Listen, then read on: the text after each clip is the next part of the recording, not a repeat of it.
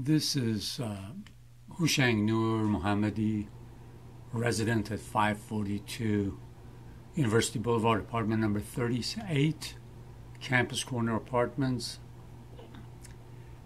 On December 1st of last year, I dropped a note, and then the following week, I dropped another note for the manager that I've got bed bug infestation in my apartment.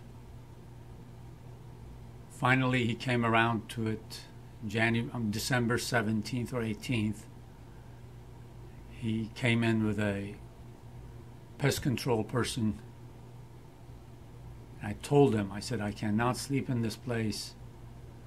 And uh, on December 3rd, he even he dated this wrong. So he put this on my door January 3rd.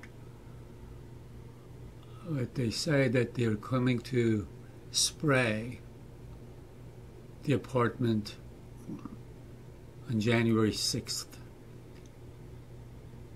Took him 33 days to even put a note up to say what he's going to do. In the meanwhile, I've either slept on a chair in my apartment because I can't sleep anywhere else, or in my car because I don't want to go over family or friends. Uh, it's just too embarrassing. But after I've already killed five or six of them on the wall. But this is how bad it is. You can imagine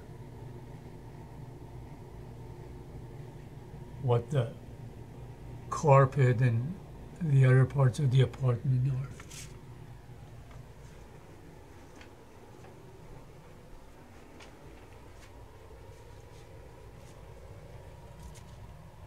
Those are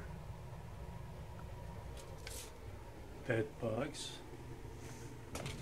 I've got to go up on a chair.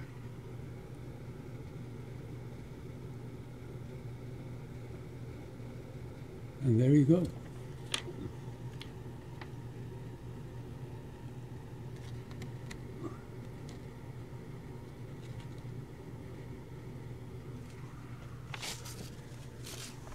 This has become a filthy, filthy apartment complex.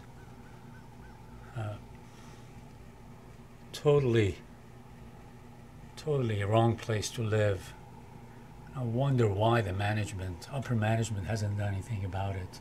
Because they've had this issue with the other buildings, so it's totally got, it's got out of hand.